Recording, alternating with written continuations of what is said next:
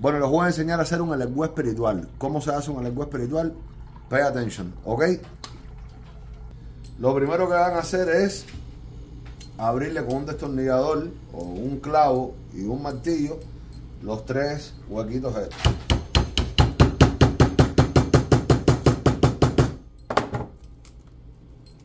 Lo abren.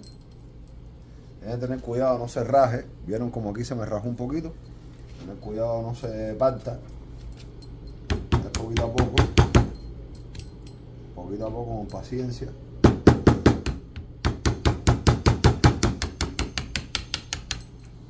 Que el destornillador. Ok. Entonces le van a sacar todo el agua. Le van a vaciar todo el agua. Brrr, le vacian todo el agua. Ok. Entonces al eh, al elegua espiritual le van a poner tres pimientas de guinea. Le echan tres pimientas de guinea. Un, dos, tres. Le van a poner miel. Le van a poner corojo. Le van a poner pescado judía maíz tostado. Le van a poner aguardiente. Le van a poner H de santo, que eso lo venden en cualquier botánica. Aquí en Botánica Orichard D tenemos H de santo con un pomito así que trae eros bioso en colar. Le meten el H de santo.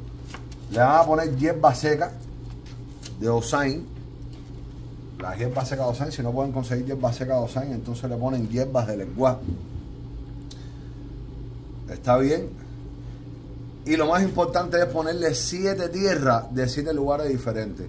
De la entrada a la puerta de su casa, hierba de las cuatro eh, tierra de las cuatro esquinas, tierra de monte, de mar, de río, toda esta cuestión. Le tienen que poner agua de mar, agua de río, agua de lluvia y agua fresca. Agua bendita, todo esto va dentro del coco. ¿Ok? Posteriormente a esto le van a poner un poquito de saliva a usted, un poquito de cabello y tres pedacitos de uña.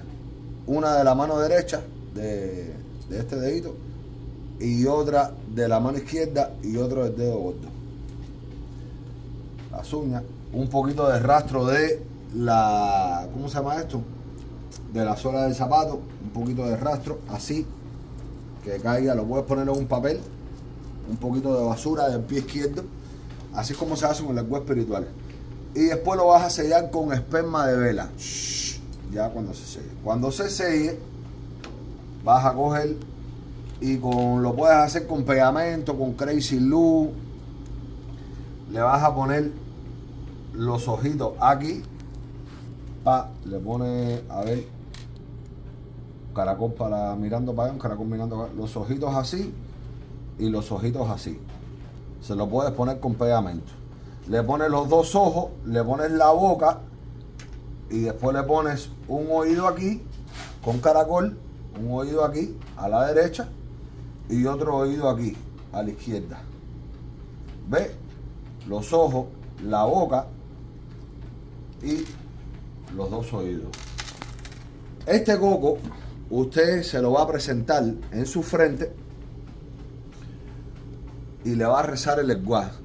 Pa, si no puede rezar en Yoruba, a la tenta la tenta no kumani kumani con dole cuelete bra quiero chofre chino mucho mucho para le bote para le como con la mubata para ahora como se tú sale mubata con los fufo con que no fumbre con la yuba le guase se que lo fico bota para mi cole si no lo puede rezar en Yoruba en mis libros también están los rezos del lenguaje si no le rezas el lenguaje en español mi padre el aquí está su hijo fulano de tal representándolo a usted por mediante de este coco ya, ya que su primera representación fue por mediante de un obvio de un coco y este coco se lo estoy dedicando a usted para que su espiritualidad viva aquí. Créeme que esto fue lo primero que los viejos utilizaron para representar al lenguaje en un coco espiritual.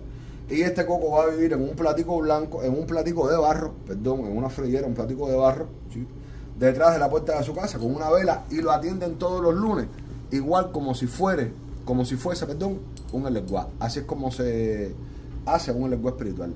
Este coco no come sangre, el coco no come sangre. Este procedimiento lo pueden hacer los santeros, los aleios, los que no están consagrados, los osbases, los balados, las marinas. Todo el mundo puede hacer esto. Un aleio no tiene nada que ver si no está rayado, si está rayado, si tiene santo hecho, si no santo hecho. Un aleo, un arboricha puede hacer esto. Usted lo puede hacer cualquiera. Para representar al lenguaje. Y créeme que funciona, camina porque camina. ¿Ok? Doctor Osvaldo la calle, síganme para más enseñanza.